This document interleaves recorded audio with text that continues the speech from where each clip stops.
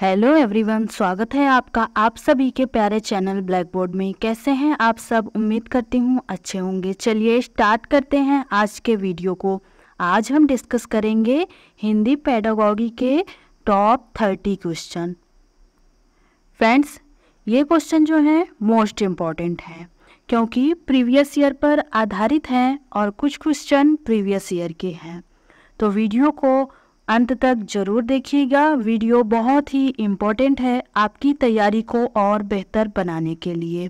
तो चलिए, बिना देरी के स्टार्ट करते हैं वीडियो को।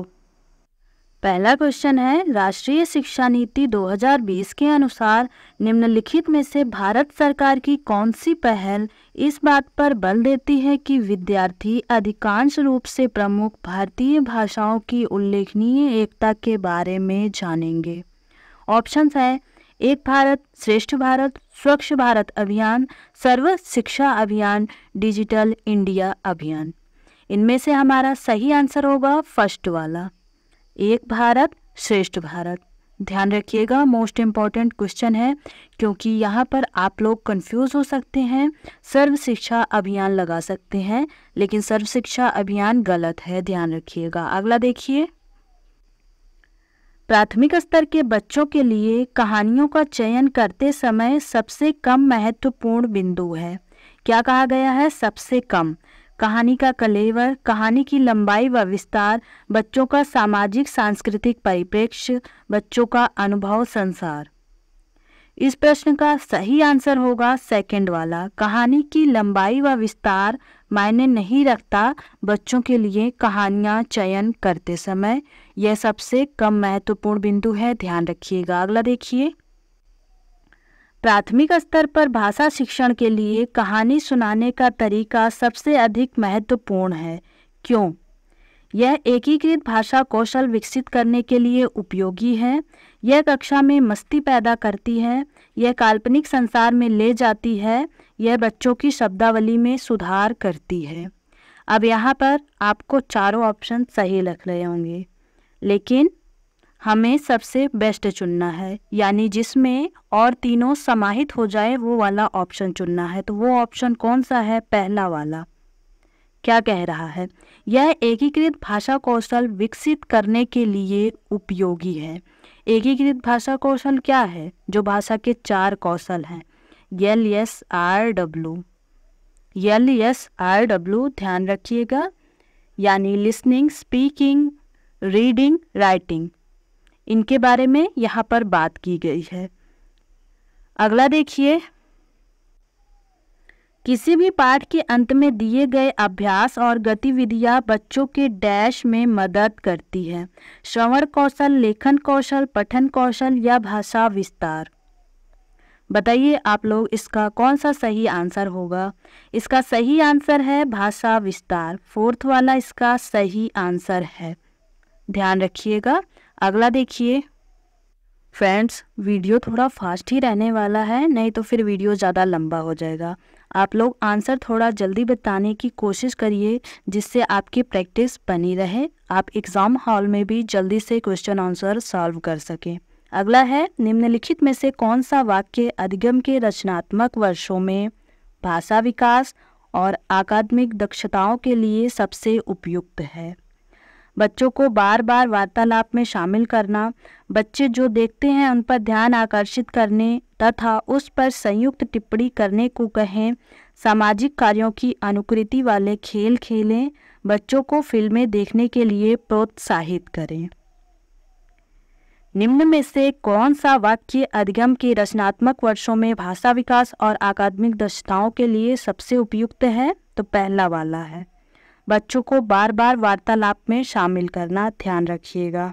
अब आप कहेंगे, सेकंड क्यों नहीं होगा? क्योंकि इसमें सब कुछ समाहित हो जाता है। टिप्पणी करने के लिए कहना तो टिप्पणी सिर्फ़ लिखित माध्यम में नहीं होती, वह बोलने वाले माध्यम में भी हो जाती है, यानी वार्तालाप में भी टिप्पणी आ सकती है। तो जो सेकंड वाला है, वह फ़र्स्ट वाले में समाहित है, इसलिए फ़र्स्ट वाला ज़्यादा उपयुक्त आंसर है। अगला देखिए। पढ़ना, लिखना, सीखना तब सरल होता है जब उन्हें किसी उद्देश्य के साथ जोड़ा जाए, उन्हें वर्णमाला ज्ञान के साथ जोड़ा जाए, निरंतर अभ्यास कराया जाए, निरंतर परीक्षा का आयोजन किया जाए। पढ़ना, लिखना, सीखना तब सरल होता है जब उन्हें किसी उद्देश्य के साथ जोड़ा जाए। ऑप्शन फ़र्स्ट इसका सही आंसर है। अगला देखिए। भाषा शिक्षण का क्या उद्देश्य होना चाहिए? विद्यार्थियों को अकादमिक वार्तालाप कौशल में सक्षम बनाना, विद्यार्थियों को सभी स्थितियों में अर्थपूर्ण ढंग से प्रतिक्रिया करने में सक्षम बनाना, विद्यार्थियों को सवालों के जवाब देने में सक्षम बनाना, विद्यार्थियों को परीक्षाओं में बेहतर प्रदर्शन करने में सक्षम बनाना। भाषा शिक्षण का उद्देश्य होना चाहिए, विद्यार्थियों को सभी परिस्थितियों में अर्थपूर्ण ढंग से प्रतिक्रिया करने में सक्षम बनाना। यानी ऑप्शन सेकंड इसका सही आंसर है, ध्यान रखिएगा। अगला देखिए। फ्रेंड्स आप लोग भी अपना मूल्यांकन स्वयं करते जाइए। आपके कितने क्वेश्चन सही हो रहे हैं, कितने गलत कॉपी में नोट करिए, जिससे आपको पता चले कि गलती कहाँ हो रही है। अगला है, भाषा आकलन का उद्देश्य नहीं है। बच्चों को सीखने में मदद करना है। बच्चों के सीखने के तरीके में जानना है। बच्चों को उत्तीर्ण, अनुत्तीर्ण करना यही नहीं है। बच्चों को अपनी गति से सीखने के अवसर देना यह है। भाषा आकलन का उद्देश्य नहीं है बच्चों को उत्तीर्ण और अनुत्तीर्ण करना। ऑप्शन थर्ड इसका सही आंसर है। अगला देखिए। कक्षा की स्थिति का अवलोकन करें और प्रयुक्त भाषा शिक्षण के तरीके की पहचान करें। अध्यापक, कलम पकड़े हुए। देखो, यह एक कलम है। दीवार पर लगी घड़ी की ओर इशारा करते हुए वह एक घड़ी है। सभी अपनी कलम पकड़ो, सभी विद्यार्थी अपनी अपनी कलम उठाते हैं। अध्यापक, सुनिए, यह एक कलम है। फिर विद्यार्थी कह रहे हैं, यह एक कलम है। तो यह है कौन सी स्थिति है, बताइए? Situation language teaching task based language teaching content based language teaching test based language teaching तो यह है सिचुएशनल बेस्ड लैंग्वेज टीचिंग यानी स्थिति भाषा शिक्षण। ऑप्शन फ़र्स्ट इसका सही आंसर होगा, ध्यान रखिएगा। अगला देखिए। पहली कक्षा की पाठ्य पुस्तक में ऐसी भाषा का प्रयोग किया जाना चाहिए जो सहज हो। ये तो एकदम इजी है, आप लोग अच्छे से समझ जाएँगे। आंसर थर्ड इसका सही है। अगला देखिए। शालिनी एक विद्यार्थी को किसी अजनबी को निर्देश देने की कल्पना करने का निर्देश दे रही है। क्या कह रही है शालिनी? एक शिक्षिका है, वह कह रही है, अपने विद्यार्थी से सुनिए। विद्यार्थी कल्पना कर रहा है, क्षमा करें डाक घर कहाँ है? फिर दूसरा व्यक्ति, यह बैंक ऑफ़ इंडिया के पास है।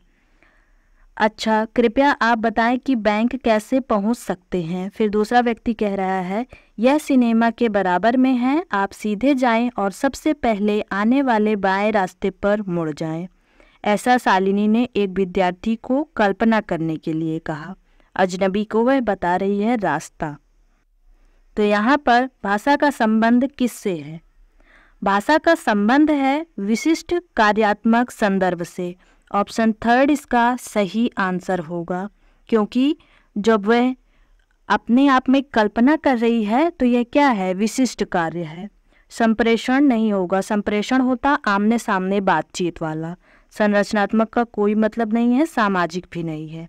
तो ये है विशिष्ट कार्यात्मक संदर्भ। अगला देखिए। भाषाई क्षमताओं के विकास में सर्वाधिक महत्वपूर्ण है। रेडियो, टेलीविज़न, अंतक्रिया, परीक्षाएँ। भाषाई क्षमताओं के विकास में सर्वाधिक महत्वपूर्ण है अंत क्रिया ऑप्शन थर्ड इसका सही आंसर है। अगला देखिए। प्राथमिक स्तर की पाठ्यपुस्तक में शब्दों को इस प्रकार से व्यवस्थित किया गया है। काला, माला, जाला और टाला। फिर दूसरा है, कुट, पुट, फुट और चुट। निम्नलिखित में से कौन से समूह का प्रयोग भाषा के शब्दों को व्यवस्थित करने के लिए किया गया है? यहाँ पर इसका सही आंसर होगा ध्वन्यात्मक समूहीकरण। ऑप्शन फोर्थ, इसका सही आंसर है, क्योंकि यहाँ पर जो उसकी ध्वनि है, वह एक दूसरे से मैच कर रही है ना? फोनिम वाला सिस्टम है, ध्यान रखिएगा। अगला देखिए। विद्यालय में आने से पूर्व बच्चों के पास अपनी भाषा संपदा तो होती है, लेकिन डैश की सचेत जानकारी नहीं होती। बच्चों के पास विद्यालय आने से पूर्व किसकी जानकारी नहीं होती? तो व्याकरण की जानकारी नहीं होती। ऑप्शन सेकंड इसका सही आंसर है। अगला देखिए। एक छात्रा अपने पूर्व ज्ञान का उपयोग करके अर्थगत व वाक्यात्मक संकेत बनाती है और फिर अन्य विशिष्ट जानकारी पर जाती है, यहाँ छात्रा पढ़ने का कौन सा मॉडल अपनाती है? Bottom up model, top down model, अंतक्रियात्मक model समग्र भाषा मॉडल। एक छात्रा अपने पूर्व ज्ञान का उपयोग करके अर्थगत व वाक्यात्मक संकेत बनाती है और फिर अन्य विशिष्ट जानकारी पर जाती है। यहाँ छात्रा पढ़ने का टॉप डाउन मॉडल अपना रही है। सेकंड वाला इसका सही आंसर होगा। टॉप डाउन मॉडल क्या होता है? पूर्व ज्ञान का उपयोग इसमें इस आधार पर किया जाता है। पहले अर्थ जानेंगे, उसके बाद वाक्य। अर्थ के बाद वाक्य जानते हैं। तो इस आधार पर टॉप टाउन मॉडल का उपयोग किया जाता है। ध्यान रखिएगा ऑप्शन सेकंड इसका सही आंसर है। अगला देखिए। पढ़ने की कुशलता में सर्वाधिक महत्वपूर्ण है। लिपि ज्ञान, तेज गति, अर्थ या शब्द ज्ञान। पढ़ने की कुशलता में सर्वाधिक महत्वपूर्ण है अर्थ। ऑप्शन थर्ड इसका सही आंसर है। अगला देखिए। भारतीय संविधान के अनुसार अंग्रेज़ी भाषा की क्या स्थिति है? संपर्क सूत्र भाषा है, प्रशासनिक भाषा है, सहयोगी प्रशासनिक भाषा है या आकदमिक भाषा है? बताइए, अंग्रेज़ी भाषा की स्थिति क्या है? अंग्रेज़ी भाषा की स्थिति है सहयोगी प्रशासनिक भाषा। हिंदी भाषा क्या है? हिंदी भाषा है प्रशासनिक भाषा। तो अंग्रेज़ी सहयोगी प्रशासनिक भाषा है, भारतीय संविधान के अनुसार। ऑप्शन थर्ड इसका सही आंसर है, अगला देखिए। जिन बच्चों को पढ़ने में कठिनाई होती है, वे डैश से प्रभावित हो सकते हैं। अफ्रेजिया डिसलेक्सिया, डिस्ग्राफिया या डिसकैलकुलिया। जिन बच्चों को पढ़ने में कठिनाई होती है, वह डिसलेक्सिया से ग्रसित हैं। ऑप्शन सेकंड इसका सही आंसर है। डिस्ग्राफिया लिखने से संबंधित है, यहाँ पर लिखने में कठिनाई होगी और डिस्कैलकुलिया गणित से संबंधित है। यहाँ पर गणना करने में कठिनाई होगी तो ध्यान रखिएगा। अगला देखिए। कार्य आधारित भाषा सीखने में कार्य से क्या तात्पर्य है? कार्य का वह भाग जो शिक्षार्थियों को भाषा के अवसर देता है, कार्य का वह भाग जो समुदाय द्वारा दिया जाता है कार्य का वह भाग जो माता पिता को उनके बच्चों के गृह कार्य के रूप में दिया जाता है। कार्य का वह भाग जो शिक्षकों को कक्षा में करना है। कार्य आधारित भाषा सीखने में कार्य से तात्पर्य है, कार्य का वह भाग जो शिक्षार्थियों को भाषा के अवसर देता है। ऑप्शन फ़र्स्ट इसका सही आंसर है। जहाँ भी आपको शिक्षार्थियों को अवसर देने की बात कही जाए, समझिए वह ऑप्शन हंड्रेड परसेंट सही होगा। ध्यान रखिएगा। अगला देखिए। बहुभाषिक कक्षा की दृष्टि से कौन सा क्रियाकलाप अपेक्षाकृत अधिक उपयुक्त है? अपनी भाषा के पाँच शब्द बोलो, अपनी भाषा के पाँच शब्द लिखो, अपनी भाषा के पाँच वाक्य लिखो, अपनी भाषा में कहानी सुनाइए। बहुभाषिक कक्षा की दृष्टि से जो क्रियाकलाप सर्वाधिक उपयुक्त है, वह है अपनी भाषा में कहानी सुनाइए। क्योंकि यहाँ पर जो बालक होगा, वह उसके लिए कुछ सीमित नहीं है, वह जैसे भी चाहेगा वैसे बोल सकेगा। लेकिन जो ऊपर के तीनों ऑप्शन है, वह सीमित कर रहा है। तो इसलिए वह तीनों गलत हैं। ध्यान रखिएगा। अगला देखिए। भाषा अधिगम में रचनावाद किस पर केंद्रित है? शिक्षार्थियों को नवीन ज्ञान खोजने में व्यस्त रखने पर, अधिगम के लिए अभ्यास के रूप में अनुकरण की भूमिका पर, प्रयोग के लिए व्याकरण नियमों को याद करने पर कक्षा में शिक्षक की प्रभावी भूमिका पर। भाषा अधिगम में रचनावाद किस पर केंद्रित है? भाषा अधिगम में रचनावाद केंद्रित है शिक्षार्थियों को नवीन ज्ञान खोजने में व्यस्त रखने पर। ऑप्शन फ़र्स्ट इसका सही आंसर है, क्योंकि रचनावाद किस पर बल देता है? करके सीखने पर बल देता है। अगला देखिए। भाषा शिक्षक के रूप में आप किसे सर्वाधिक महत्वपूर्ण मानते हैं? पाठ्यपुस्तक को, भाषा आकलन को, भाषा शिक्षण को या संसाधन सामग्री को? भाषा शिक्षक के रूप में हम जिसे सर्वाधिक महत्वपूर्ण मानेंगे वह होगा भाषा शिक्षण। ऑप्शन थर्ड इसका सही आंसर है। अगला देखिए। दो विद्यार्थी एक ही पाठ्य पुस्तक को पढ़ते हैं। फिर भी इसमें बिल्कुल भिन्न अर्थ निकालते हैं। उनके बारे में निम्नलिखित में से कौन सा सही है? यह संभव नहीं है और विद्यार्थियों को इसे दोबारा पढ़ना चाहिए। गलत। यह संभव है क्योंकि शिक्षक ने पाठ्य सामग्री को नहीं समझाया है। गलत। यह संभव है क्योंकि व्यक्ति के अधिगम को विविध कारण, विभिन्न विधियों से प्रभावित करते हैं। ये वाला सही है। क्योंकि वहाँ पर दो विद्यार्थी है ना तो उनकी सोच अलग अलग हो सकती है। ऑप्शन थर्ड इसका सही आंसर होगा। अगला देखिए। विद्यालय की पाठ्यचर्या सहगामी क्रियाएँ ऐसी हों जो बच्चों को किसके अवसर प्रदान करें? मौखिक अभिव्यक्ति के, लिखित अभिव्यक्ति के, भाषा प्रयोग के या अभिनय के? यहाँ पर जो सही आंसर होगा, वह होगा थर्ड वाला। विद्यालय की पाठ्यचर्या सहगामी क्रियाएँ ऐसी होनी चाहिए जो बच्चों को भाषा प्रयोग के अवसर प्रदान करें। अगला देखिए।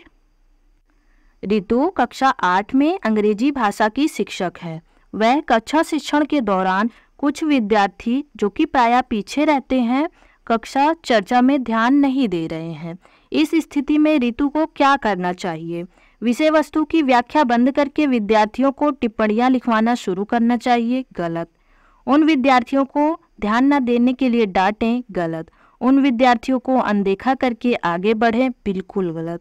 उन विद्यार्थियों से प्रश्न पूछे व चर्चा का भाग बनाएँ और अपनी शिक्षण युक्ति में बदलाव करें। ऑप्शन फोर्थ इसका सही आंसर होगा। अगला देखिए। भाषाई क्षमता के आकलन की दृष्टि से निम्न में से कौन सा प्रश्न सर्वाधिक उचित है? तुम बजाज होते तो चूहे को कपड़ा देते या नहीं, क्यों? दर्जी चूहे की किस बात से डर गया? चूहा टोपी क्यों पहनना चाहता था? चूहा टोपी पर सितारा क्यों लगवाना चाहता था? भाषाई क्षमता के आकलन की दृष्टि से निम्नलिखित में से जो सर्वाधिक उचित है, वह है पहला वाला। तुम बजाज होते तो चूहे को कपड़ा देते या नहीं, क्यों? यहाँ पर प्रश्न पूछा जा रहा है। तो ध्यान रखिएगा। अगला देखिए। एक अध्यापक ने विद्यार्थियों को समूहों में विभाजित किया और हाथियों पर कहानी पढ़ने से पहले उनके बारे में आयोजित प्रश्नोत्तरी में भाग लेने के लिए कहा। यहाँ पर अध्यापक क्या करने का प्रयास कर रहा है? सहपाठी पृष्ठपोषण, टॉपिक के प्रति रुचि पैदा करना, पाठ्यपुस्तक की समीक्षा करना, उनकी स्मृति का परीक्षण करना। तो इसका सही ऑप्शन होगा सेकंड वाला। टॉपिक के प्रति रुचि पैदा करने की कोशिश कर रहा है अध्यापक। ध्यान रखिएगा, अगला देखिए। भाषा के दो पक्ष होते हैं। एक, संरचनात्मक पक्ष और दूसरा, डैश पक्ष। ऑप्शंस हैं, साहित्यिक, प्रकार्यात्मक, अलंकारिक या भावनात्मक। दूसरा पक्ष जो होगा, वह होगा प्रकार्यात्मक। ऑप्शन सेकंड इसका सही आंसर है। अगला देखिए। अनुभवात्मक अधिगम किस पर बल देता है? बच्चों के अधिगम पर, शिक्षक के नियंत्रण पर, सीखने में पुनर्बलन की भूमिका पर, आलोचनात्मक प्रतिबिंबन के महत्व पर, एक प्रक्रिया के बजाय अधिगम को एक उत्पाद के रूप में देखने पर। अनुभवात्मक अधिगम जिस पर बल देता है, वह है सीखने की पुनर्बलन की भूमिका पर। तो ऑप्शन सेकंड इसका सही आंसर है। अगला देखिए। निम्नलिखित में से कौन से दो सीखने की वर्तमान समझ के अनुसार सत्य हैं? त्रुटियाँ सीखने के क्षेत्र हैं, सही है। त्रुटियाँ भाषा अधिगम में बाधा डालती हैं, बिल्कुल गलत। त्रुटियाँ भाषा अधिगम में बाधा नहीं डाल सकती। यह भाषा अधिगम का हिस्सा है। त्रुटियों को तुरंत ही सुधार देना चाहिए। तुरंत ही कैसे सुधार देंगे? यह भी गलत है। त्रुटियाँ शिक्षकों के लिए पृष्ठ पोषण का काम करती हैं, यह सही है। तो इसका सही आंसर होगा थर्ड वाला ए और डी सही है। तो इस तरह ध्यान रखिएगा। आपके इन तीस क्वेश्चनों में से कितने क्वेश्चन सही हुए, कमेंट सेक्शन में ज़रूर बताइएगा। वीडियो कैसे लगा, यह भी बताइएगा। वीडियो पसंद आए तो वीडियो को लाइक कीजिए, अपने दोस्तों के साथ शेयर कीजिए, और ऐसे ही इंटरेस्टिंग वीडियोस देखने के लिए चैनल को ज़रूर सब्सक्राइब कीजिए। Thank you friends